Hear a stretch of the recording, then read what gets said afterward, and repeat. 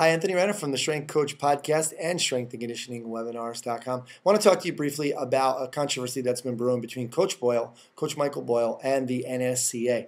Now, if you read the Strength Coach blog, Coach Boyle's Strength Coach blog, you already know about the fact that he's been taking off of um, from out of their conferences. He's no longer speaking for them. They, they don't want him to speak for them. Um, but they've taken it a, a step further. And if you listen to episode 57 of the Strength Coach podcast, you already know this that um, basically the step further that they've taken is they are no longer approving courses from Coach Boyle. So mysteriously, uh, over the last two months, uh, something happened that he is no longer qualified.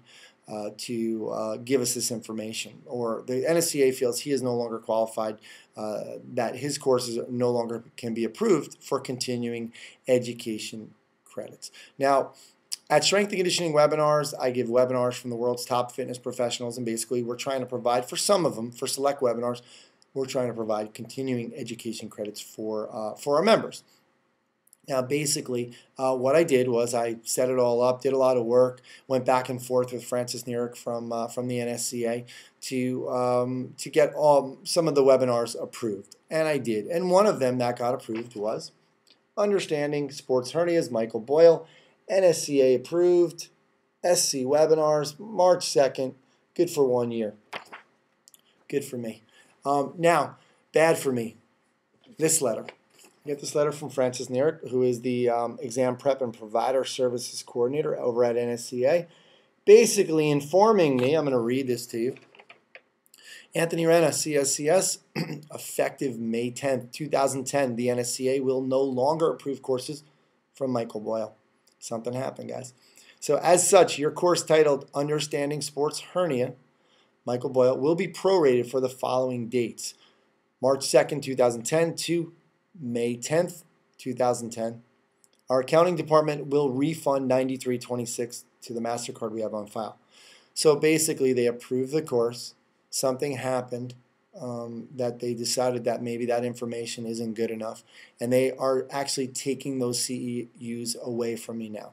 Um, they're refunding my money. So if you took the test between that those two months, I guess they're going to honor it. But they're no longer approving anybody that watches that webinar. They told me it would last a year. Again, it's right here. It says it's valid from right there, March 2nd, 2010 to March 2nd, 2011 um, it's supposed to be good for a year. And they took it away for whatever reason. I don't know. I didn't get a reason.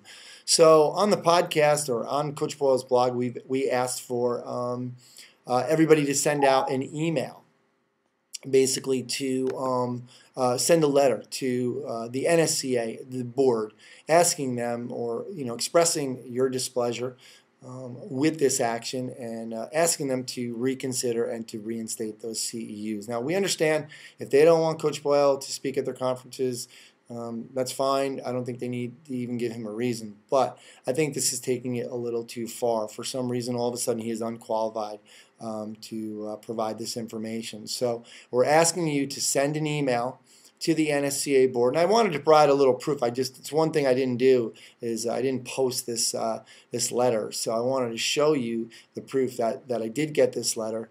Um, that it, my CEUs were approved. I got the letter, and now they took it away from me. So we're just asking for your help. Send the NSCA board. You can go to strengthcoachpodcast.com. We even made a little form letter. We gave you all the uh, the emails from the board. Uh, please send them a letter uh, expressing your displeasure um, uh, with this action, and we don't think it's fair. We think it sets a bad precedent, um, and uh, hopefully we can get some things changed, um, uh, and we can get this course or you know Coach Boyle's courses reinstated.